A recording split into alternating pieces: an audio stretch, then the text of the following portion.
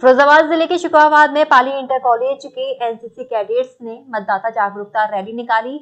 इस दौरान कैडेट्स ने स्लोगन और नारे लगाकर मतदान के प्रति लोगों को जागरूक किया। कार्यक्रम का शुभारंभ एसडीएम विवेक मिश्रा ने हरी झंडी दिखाकर किया। गुरुवार को आयोजित कार्यक्रम में प्रधानाचार्य ने कहा कि कैडेट्स अपने परिवार, मोहल्ले, कॉलोनी और गाँव में घर घर जाकर मतदान के प्रति जागरूक अभियान चलाएँ।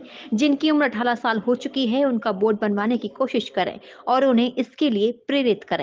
एसडीएम ने लोकतंत्र की मजबूती के लिए 18 वर्ष और उससे ऊपर के सभी व्यक्तियों को मतदान करना चाहिए। इसके बाद कॉलेज से कैडेट्स की मतदाता जागरूकता रैली निकाली गई। रैली शहर के मुख्य मार्गो से होते हुए कॉलेज पहुंचकर संपन्न हुई। कार्यक्रम में कॉलेज का समस्त स्टाफ मौजूद रहा। राष्ट्रीय मतदाता दिवस है। पच्चीस जनवरी को हर वर्ष मनाया जाता है। जो 2011 से लागू हुआ है, मतदाता, राष्ट्रीय मतदाता दिवस।